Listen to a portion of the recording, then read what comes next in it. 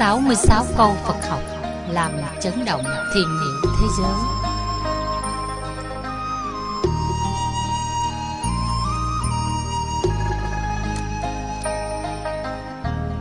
Câu thứ nhất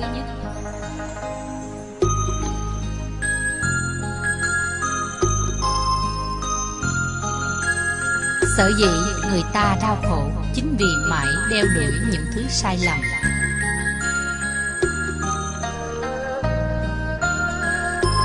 Cầu thứ hai.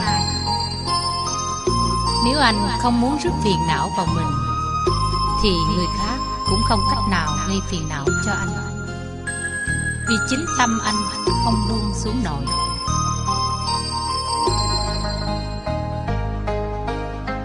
Cầu thứ ba.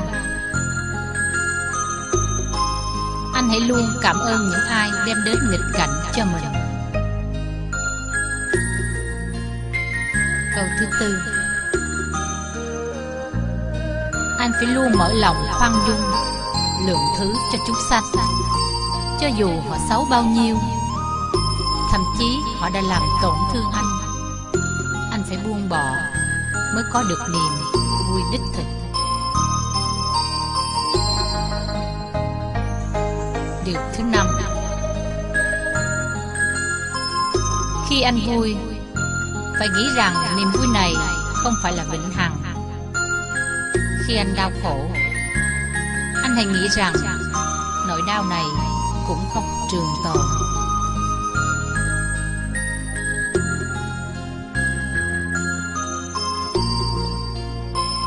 Câu thứ sáu. Sự chấp trước của ngày hôm nay Sẽ là niềm hối hận cho ngày mai. Câu thứ bảy. Anh có thể cho tình yêu, Nhưng đừng nên dính mắt. Vì chia ly là lẽ tất nhiên. Câu số 8 Đừng lãng phí sinh mạng của mình Trong những chốn mà nhất định anh sẽ ân hận. Câu thứ 9 Khi nào anh thật sự buông xuống, Thì lúc ấy anh sẽ hết phiền não. Câu số 10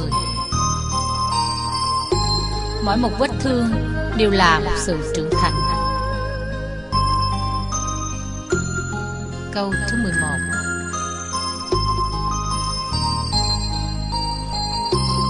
Người cuồng vọng còn cứu được. Người tự ti thì vô phương.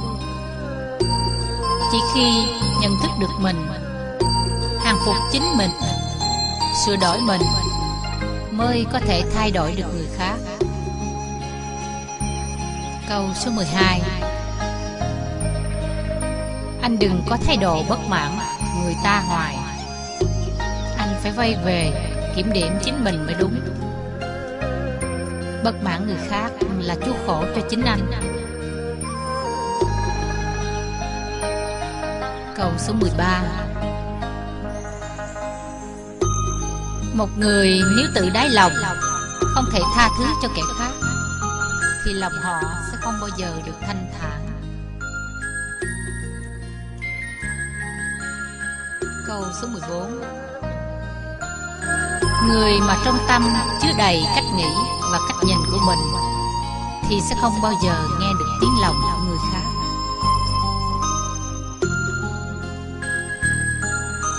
Câu số 15 Hủy diệt người chỉ cần một câu. Xây dựng người lại mất ngàn lời. Xin anh đa khẩu hạ lưu tình. Câu số 16 Vốn dĩ, Không cần quay đầu lại xem Người quyền rủa anh là ai. Giả sử anh bị cho điên cắn anh một phát, Chẳng lẽ anh cũng phải chạy đến cắn lại một phát? Câu số 17 Đừng bao giờ lãng phí một giây phút nào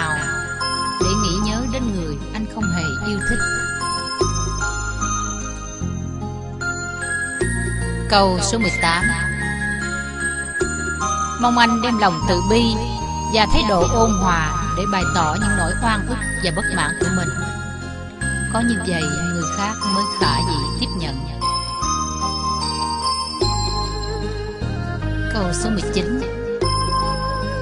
Cùng là một chiếc bình như vậy, Tại sao anh lại chứa độc dược Cùng một mảnh tâm, Tại sao anh phải chứa đầy những phiền não như vậy.